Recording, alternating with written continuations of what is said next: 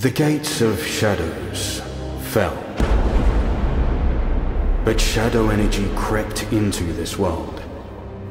That's how I found my new home. At first, I was weak. Some tried to fight me. I became stronger.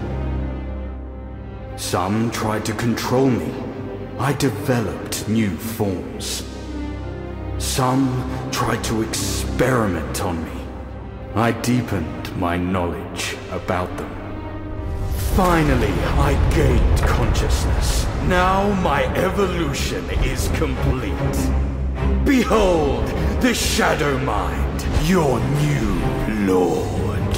Is there anybody who can match my powers? I don't think so, but I will give you a chance.